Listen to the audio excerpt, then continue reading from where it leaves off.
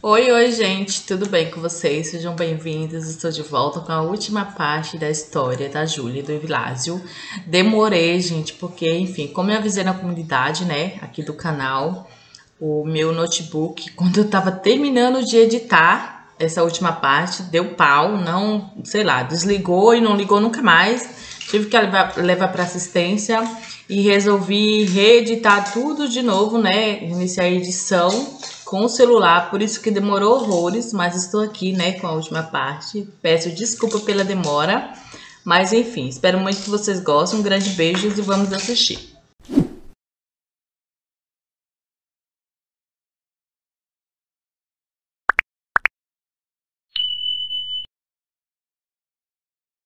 Me ajude aqui, por favor.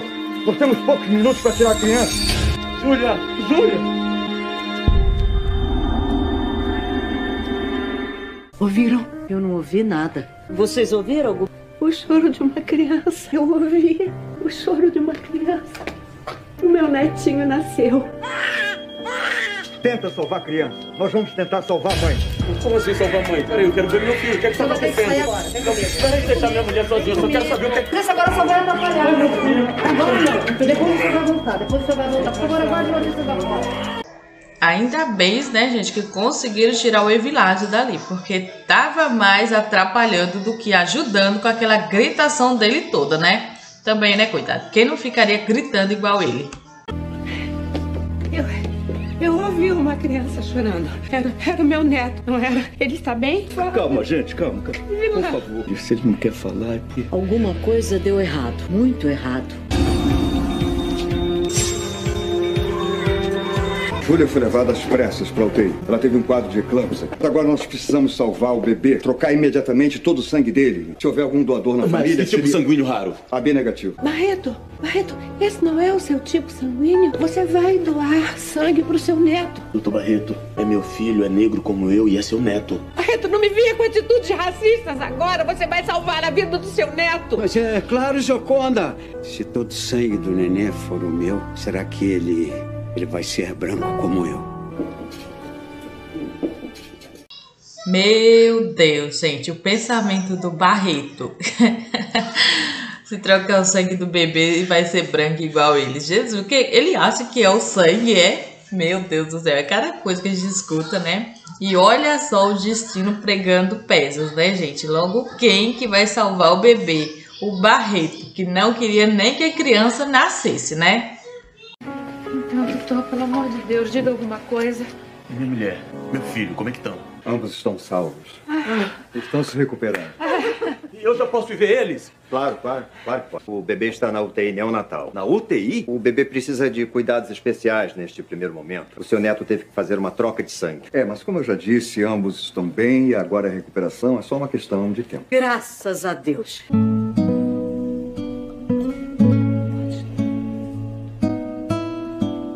Sua mãe vamos fazer você crescer, tá bom? Você vai ser um homem de verdade. Você viu como ele é lindo? Ele é o futuro, meu amor. E o presente também. É a vitória do nosso amor. Ele é tão pequenininho, né? Ele é muito pequenininho. Nossa, achei que ia te perder, que ia perder nosso filho. Nunca tive tanto medo. Eu também fiquei com medo. Mas agora já tá, tá tudo bem, né?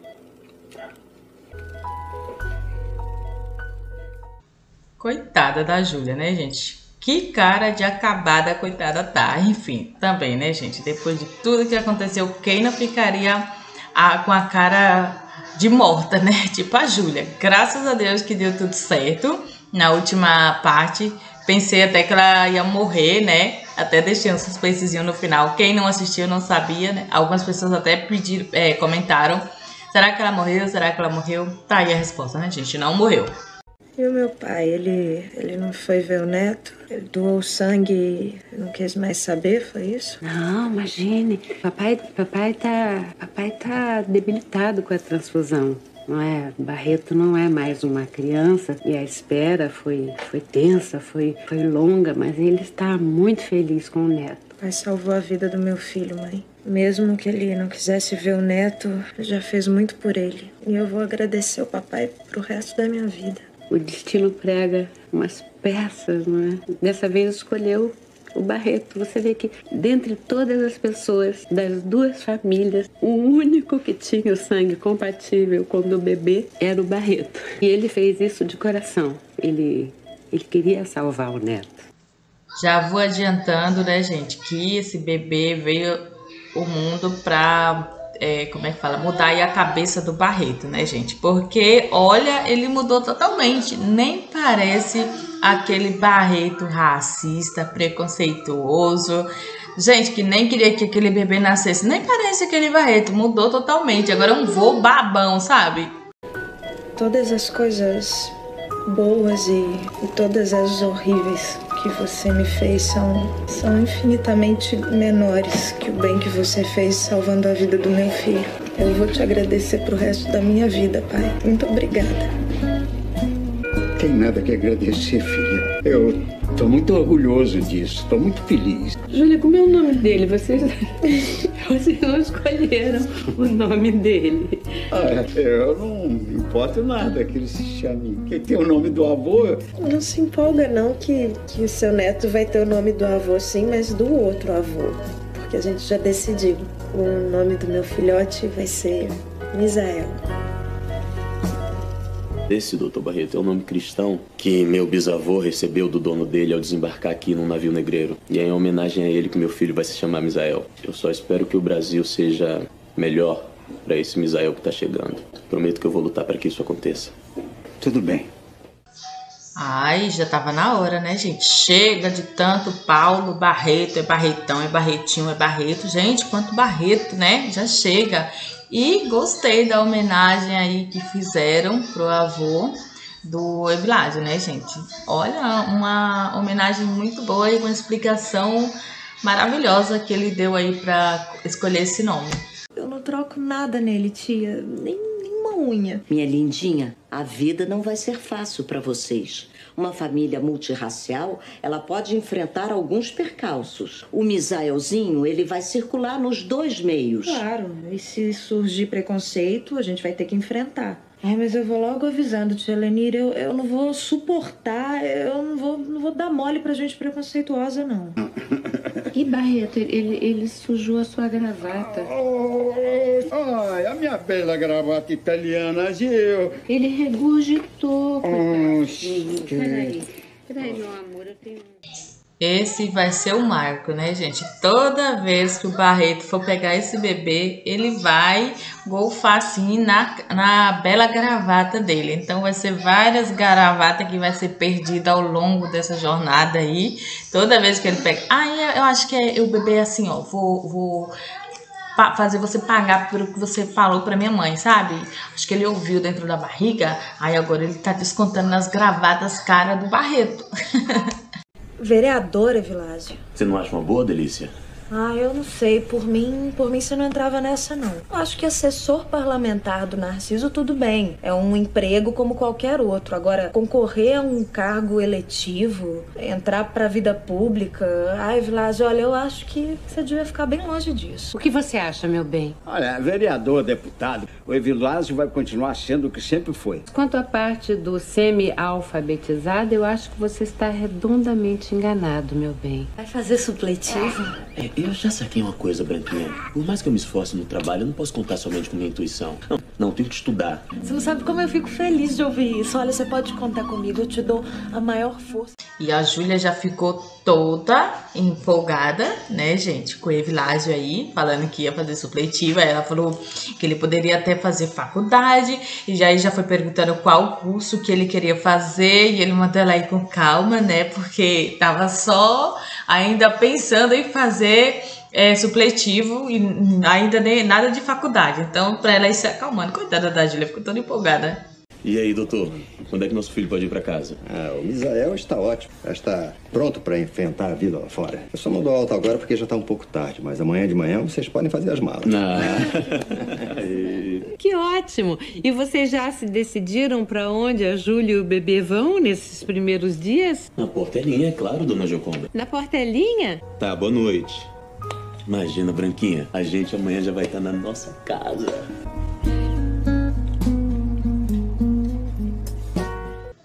E, gente, a Joaconda ficou toda preocupada, né? Porque ela queria que a Júlia fosse lá para casa dela nesse primeiro momento. Mas aí o Evilásio falou que não, que a casa já, já tinha terminado a obra, que já estava toda pronta, esperando ela, enfim. E aí convenceu a Joaconda a ficar mais tranquila, né? Deixando ele levar a Júlia lá pra favela.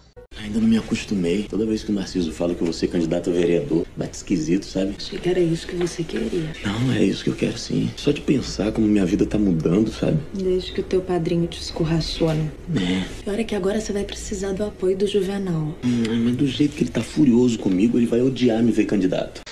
Sim, gente. Mesmo a Júlia falando que não concordaria, ela chegou à conclusão e concordou, né? E aí o Evilásio se candidatou. Agora ele está concorrendo a vereador. Como ele viu, como vocês viram ele falar que está preocupado, né, com o padrinho dele que provavelmente não vai gostar muito dessa ideia, né? Ah, Vocês estão enrolando demais. O neném ainda tá chorando. Olha, o carro tá lá embaixo. Olhar vocês na portelinha. Ô, Barreto, obrigado, mas não precisa não. Eu tô de carro aí também. Você comprou carro? Não, ainda não. Mas o deputado Narciso Tellerman me emprestou dele. Eu, eu pego, eu pego. Ah, Não, Eu só espero que agora você tenha carta de habilitação, é verdade? eu tenho sim, doutor Barreto. Novinho em folha. Agora ninguém me pega mais no contrapé. Deus vão com Deus. Tchau, pai. Cuida do nosso neto. E essa aí, gente, foi pro Barreto, sabe? Tenho certeza que ele falou essas coisas pro Barreto, porque ele foi preso. O Barreto armou, né, a Blitz lá, e ele acabou sendo preso porque, enfim, tava todo irregular, né? Aí ele falou essas coisas pro Barreto se ligar.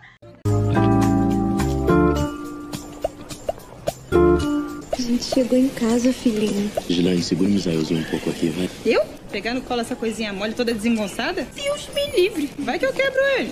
Assim você já vai treinando pra continuar os Ih, seus. não me gasta não, hein? Eu nunca vou ter filho. Só se for de chocadeira. Fui.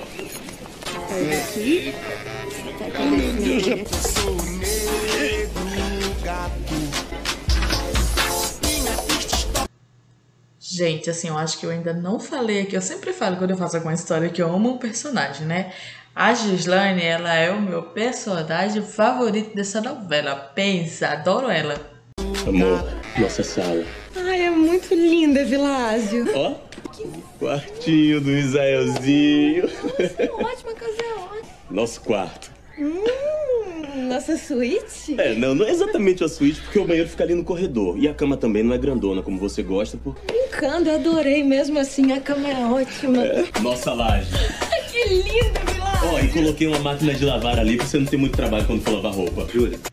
A preocupação da Júlia não foi nem se tinha uma máquina de lavar ali, né, gente? A preocupação dela foi mesmo se não ia ter um tarado vigiando ela com binóculo lá na outra laje, né? Como já aconteceu assim que ela mudou lá pra favela. Eu nem vi você entrando, a gente tava aqui trocando ele, só vi agora. Parece mais uma lesminha. Você pensa o quê? Que você sempre foi assim? Com esse bundão enorme? Não, você já foi uma lesminha, sim, como ele é. Quer pegar ele um pouquinho? Cuidado. Cuidado com, com a cabecinha dele, tá? Pequenininho. Ai. É lindo. Gente, a Gioconda, né? É, defendendo o netinho dela, defendendo mais do que a própria mãe, né, gente? A Júlia, que leva tudo, enfim, na esportiva. Mas olha, essa foi a primeira vez que a Gislaine conseguiu pegar o sobrinho dela, gente. Porque na cabeça dela ela ia quebrar o garotinho todo, sabe? Era muito mole, enfim. Elzinho pegou pesado essa noite, hein? Quantas vezes ele acordou? Umas cinco, não foi? Eu nem lembro. A fralda você que trocou. Se eu preguei os olhos duas horas essa noite, foi muito. Nossa, como eu queria um guindaste pra me levantar dessa cama. Nossa, e se eu tivesse que acordar todas as vezes que ele chora, eu ia estar muito mais cansada. Esse choro aí é de quem tá com fome, mamãe. Ele quer mamar. Aquele guindaste.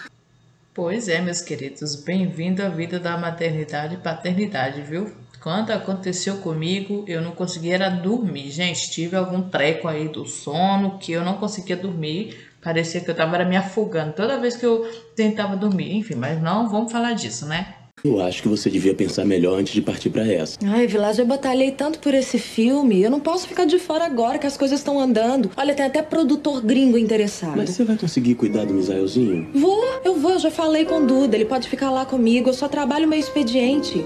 Hum, tá bom, se você acha que vai dar conta, vai nessa, vai. Deixar o neném na creche. Creche? Filho, da Condessa, ela abriu uma lá na ONG. Ele é muito pequenininho, eu- não vou ter coragem. Vai lá na creche, faz uma visita sem compromisso, fica nos fundos da ONG. É, pronto, eu vou lá com você. Eu fico às tardes lá mesmo, trabalhando na ONG. Tá, eu vou fazer uma visita, sim. Bom, gente, a Júlia, né, ela quer voltar a trabalhar para ajudar nas contas em casa. Só que na cabeça dela, ela queria trabalhar e levar o garoto pro trabalho, entendeu? Porque lá ela conseguia amamentar todas as vezes que ele quisesse mamar e não queria deixar na creche. Só que, enfim, ela teve que fazer a visitinha na creche, né? Se eu não tivesse que trabalhar, eu nem deixava o Misaelzinho. Seu bebê vai ficar em ótimas mãos. As mulheres que cuidam das crianças são mães como você. E depois elas se revezam aqui para poder trabalhar em outros lugares também. É, eu, eu, eu não vou conseguir, eu não vou conseguir ficar longe dele. É melhor eu, eu esquecer esse trabalho, não vai dar certo. Bebê vai ficar bem aqui, junto com todas as outras crianças. Fica tranquila. O filho da Branquela vai ficar aqui na creche da gente? Aqui não tem essa história de branquela, não. É todo mundo igual. Ai, Jesus, sempre tem uma, né, gente? Eu aí não julgo a Júlia, né? Quando eu fui deixar a minha na creche também pela primeira vez, deu vontade de voltar, né? Na hora que eu tava saindo, deu vontade de voltar, pegar minha filha e trazer pra casa de volta. É esse sentimento, entendeu? Então não julgo. A gente quer se ver livre, né, por um tempinho deles, mas quando a gente tá realmente livre, coloca lá, ai que saudade, ai que desespero, ai que tudo, né, gente? Amor, por favor, pega aquela camisa minha que tá lá no varal. Ah, eu não posso, amor. Eu tô atoladíssima aqui também. Eu tenho uma reunião com aquele produtor americano que quer comprar os direitos da Batalha da Portelinha. Oi, Lucimar. Tudo bem buscar você. Hoje é seu dia de tomar conta das crianças da creche. Mas logo hoje? Você foi avisada com antecedência, Júlia. Toda mãe tem que cumprir um turno. Não dá de jeito nenhum. Olha, eu posso ficar dois dias seguidos se vocês quiserem.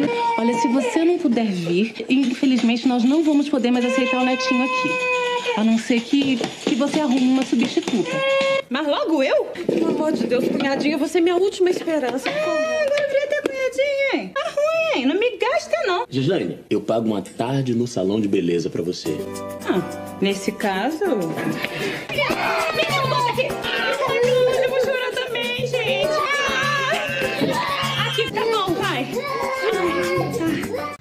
Coitada da Gislane, né, gente? Saiu, foi caro essa ida no salão. Ela não imaginava que ia ser assim. E ela ainda perguntou a Júlia se a criançada chorava, né? E a Júlia, claro, falou que não, jamais, eram uns anjos. Olha isso. Coitada, acho que ela se arrependeu amargamente. Não quer dizer que ele quer que eu vá contigo. Júlia, nós vamos pra Hollywood! Quem é que vai cuidar do nosso filho? Calma, Vilásio, calma. Até o dia da viagem eu resolvo isso, calma. Ah, tá. Então você já decidiu que vai. Claro que eu vou. Como é que eu vou, vou perder uma oportunidade como essa? Achei que você fosse ficar feliz com, com as minhas conquistas. Tô feliz sim. Só que eu achei que uma decisão como essa que afeta tanto a nossa família, você ia falar comigo. Claro que eu ia te falar, Vilásio, só que você, você entrou, você ouviu a conversa toda. Ô, lindeza, você entende o quanto esse trabalho é importante pra mim. Mas o nosso filho e a minha campanha pra vereador também são importantes. Peraí, Vilásio, você tá sendo injusto. Olha, e põe justo nisso, né, gente? Porque assim, a Júlia, ela não queria que ele se envolvesse na política. Porém, ela aceitou, embarcou na dele, fica com o Misael sozinha para ele ficar panfletando e enfim, né, gente? Conversando com o pessoal da favela, atrás de voto, e ela fica se virando ali. Mas quando é a vez dela, gente, olha como o Evilásio age. Pelo amor de Deus. Eu dou a maior força na sua campanha. Eu fico, eu fico com o Misaelzinho o tempo todo, o tempo inteiro. Ah, que isso? Júlia, você tá feliz com a vida que tá levando aqui comigo? A questão não é essa. Você tá fugindo da pergunta que eu te fiz? Pelo amor de Deus, não dificulta as coisas, não. Não é possível. Sabe que você não entende que eu tô fazendo.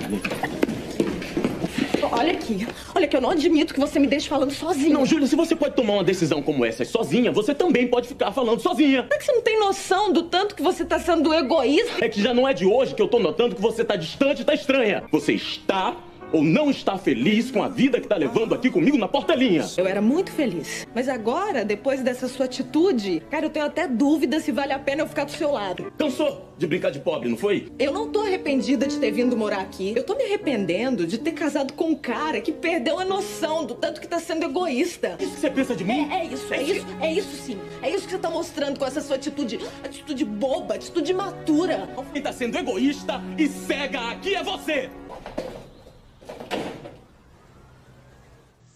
Mas, gente, como que pode? Gente, quando eu vejo uma cena dessa, seja em novela, seja em filme, seja no que for, me dá um ranço, me dá uma raiva da pessoa, que machista escroto.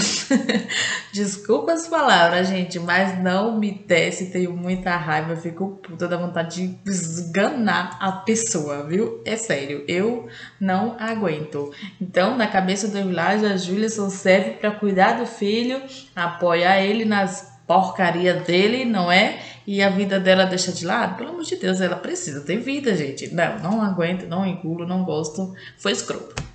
Eu acho que o Evilásio está agindo exatamente como o Barreto teria agido no passado se eu tivesse tentado uma carreira. Mãe, mas isso não é justo. Não, justo não é mesmo. Principalmente porque o Evilásio já te conheceu trabalhando. Eu já tomei a minha decisão, mãe. Eu não vou desistir da minha carreira só porque o Evilásio quer. Ai, mas eu também queria que ele entendesse as minhas razões. E você acha que ela tem razão, Narciso? Claro que ela tem razão, Evilásio. A Júlia tem uma carreira, não tem por que abrir mão dela. Ainda mais desperdiçar uma chance dessa rara que apareceu, imagina. De qualquer forma, eu não viajo até o dia do comício, né? Então até lá eu vou tentar me entender com meu marido, né, mãe? Faça isso, meu bem. Isso é o melhor. E você, mãe, você vai no comício? Claro que sim. E se duvidar para apoiar o Evilásio, sou capaz até de fazer um discurso. Mas quem sabe até eu não me saio bem. Olha. Ansiosa por essa conversa da Júlia com o Evilásio. Espero que ele não tenha outro ataque, né, gente? Pelo amor de Deus. E sim, já adianto para vocês que a Joaconda ela vai é, no comício e ela vai sim, gente, falar, né? Ela vai mostrar o apoio dela ao Evilásio.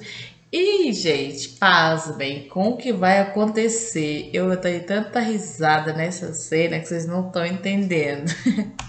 Eu queria te pedir desculpa, Júlia. Nada a ver o que eu fiz, ficar te ameaçando, te cobrando. Prometo que eu nunca mais vou fazer isso, tá? Eu adoro a vida que a gente tem aqui. Só que eu quero viajar, é importante para mim profissionalmente.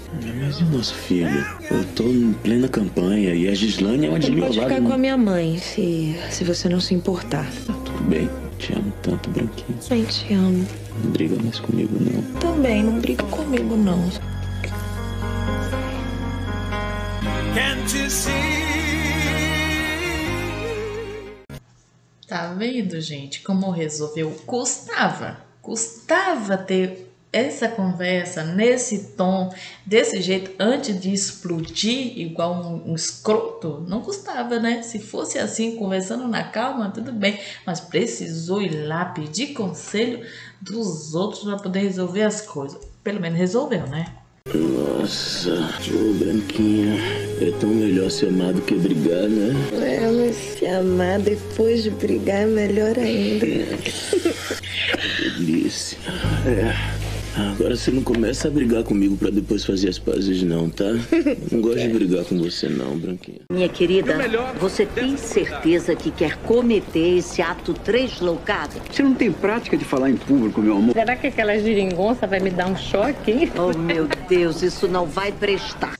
Chegou o dia do comício, gente. Não mostrei pra vocês, mas o padrinho do Evilásio, né? Ele decidiu que também iria se candidatar. Ele não gostou nada do Evilásio estar é, concorrendo, né? E aí ele resolveu se candidatar e tá os dois nesse impasse aí, um atacando o outro. E como ele já fez o comício, agora é a vez do Evilásio, né? E a sogra do Evilásio, claro, né, gente, vai falar, vai mostrar o apoio dela pro Evilásio. Eu agradeço. Muito obrigado, dona Gioconda. É uma honra te ter como minha sogra e uma felicidade de ter na minha campanha. Muito obrigado. Obrigada, Vilar. Eu, não sei se vocês sabem, mas meu marido e eu tivemos algumas dificuldades para aceitar o Evilásio, porque naturalmente nós queríamos o melhor para nossa filha. O meu marido não suportava ter um genro negro, favelado. Vamos matar a Gioconda e vão me fritar. Cala a boca, perua! Volta pra casa! Eu posso ser perua, mas você, você, você, é um covardão que fica se escondendo porque não é homem. Você não é homem sequer para assumir o que você diz. Grita insultos, cospe impropérios, vomita calúnias e infâmia. Você vai ouvir o que a tua mãe não teve tempo de te dizer porque estava recebendo cliente. Dona Gioconda, não precisa falar mais nada. Por favor, não piora as coisas. Júlia, aquele covardão me interrompeu. Daqui não saio, daqui ninguém me tira. Eu vou falar, eu comecei e vou acabar. Eu vou até o fim. Viu, gente? Eu falei. E isso foi porque eu reduzi bastante essa cena, mas teve muita coisa. A Gioconda, gente, olha, diminuiu aí, desceu do salto mesmo, eu achei foi pouco. E vocês viram como ela xinga, gente, num sabe, muito bonito. É bonito o jeito que ela xinga. Me lembrou uma moça que eu sigo no Instagram, aquela moça do batom vermelho. Eu tenho certeza que alguém aqui deve já ter visto o vídeo dela, que ela ensina como você xingar com classe, entendeu? E a Joconda xingou com classe mesmo. Gente, eu adorei, eu dei tanta risada até do Barreto nessa cena. Vou me fritar junto, com certeza. Eu, eu falei da dificuldade que foi aceitar o Evilásio, porque eu queria explicar para vocês que às vezes pais cuidadosos também erram, mas nenhum pai nem ninguém tem o direito de, de fazer, de escolher o que os filhos ou que qualquer outra pessoa deva fazer. Cada um de nós tem as suas escolhas. Por que não escolher em quem votar? Por que vamos votar de cabreço? Por quê? Não temos opinião? Não sabemos o que queremos? Eu não sei o que vocês pensam sobre isso, mas para mim está na hora de dizer chega. Chega. Chega dessa gente que pensa. Chega! A senhora tá certa. Chega mesmo. Chega! Chega! O nosso voto que decide quem vai administrar, quem vai cuidar da nossa cidade, da nossa comunidade, da nossa rua. Pois é, gente. E ela falou e falou muito bem, sabe? Todo mundo falando que ela ia que ser um desastre ali, até que começou ruim por causa do rapaz, né? Que foi chamar ela de perua e ela não gostou, mas depois melhorou. Ela só estava querendo chegar aí. E foi com esse movimento do chega, né, que ela começou o movimento dela. Eu não vou mostrar, mas foi bem no finalzinho da novela, ela até foi para Brasília, enfim, gente. Chega dessa corja que rouba, só nega, corrompe e enriquece com o dinheiro dos pobres. Eu quero mudança. Eu vim aqui hoje para dizer que meu voto é do Evilásio. Não porque ele é meu genro, mas porque ele é um homem que não se intimidou diante das pessoas poderosas. Eu estou aqui porque este homem é o homem que eu quero que me represente.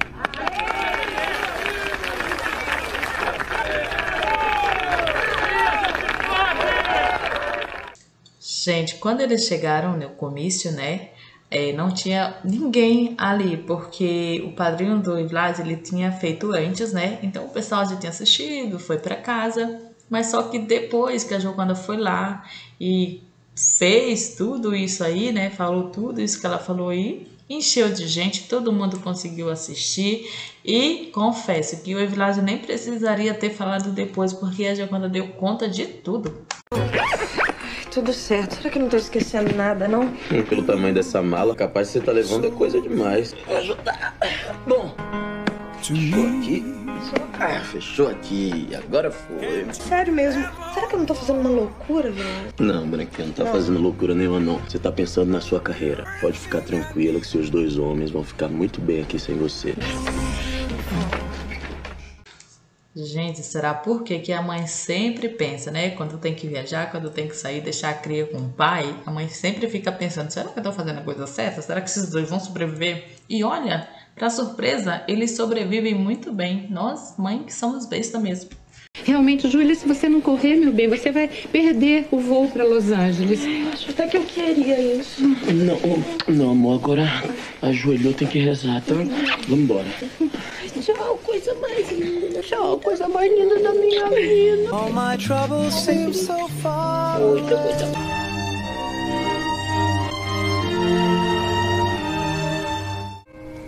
Júlia, Oi, amor. Acabei de chegar em Los Angeles, já tô no hotel. Amanhã é a festa de lançamento do filme. Tô até um pouco lerda por causa desse fuso horário, mas eu, eu tinha que ligar pra te dizer uma coisa. fala, meu amor. Que eu te amo muito e eu quero passar a minha vida toda do seu lado, viu? Quando eu chegar no Brasil, eu quero ter outro filho, tá? Ah, tudo bem, tudo bem. A gente pode tratar disso, sim. Olha, te amo, meu amor.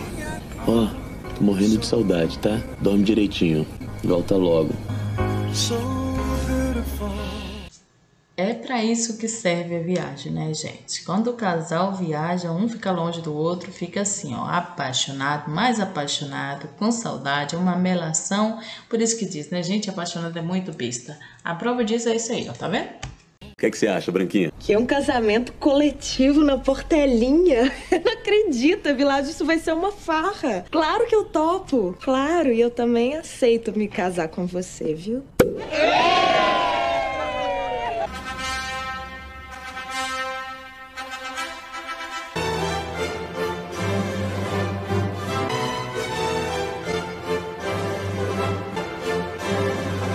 Então, eu vos pergunto: é de livre e espontânea vontade que aceitam casar?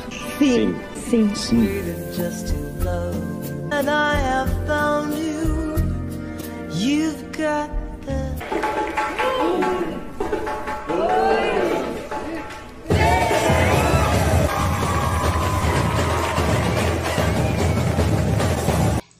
E pensa, gente, num tanto de casamento que teve, né? O povo deixar pra casar todo mundo foi no final da novela. Vou te contar, pensa numa novela pra ter tanto casamento, eu acho que uns oito ou fez seis por aí. Casamentos que teve aí junto com da Júlia.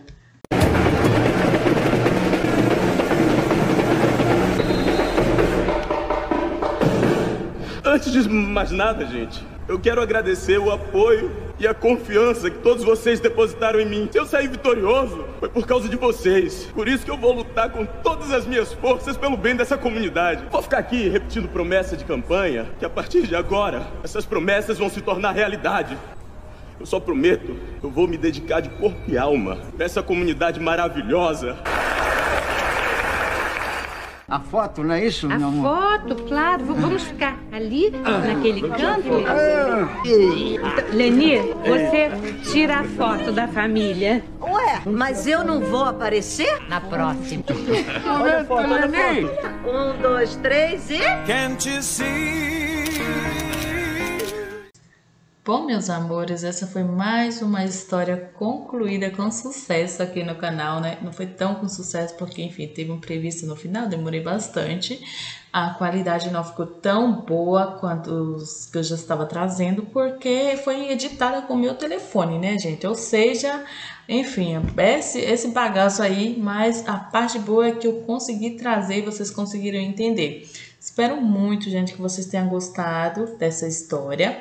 É, deixa aqui nos comentários um casal, preferência de um casal. Quem sabe eu não escolho o casal da sua preferência para estar trazendo a história aqui, tá bom? Pode escrever que eu leio todos os comentários e o casal que eu não conheço, normalmente eu vou pesquisar para me saber qual é o casal, entendeu? Então, possa ser que o seu casal seja o próximo casal postado aqui no canal. Um grande beijo e até a próxima história.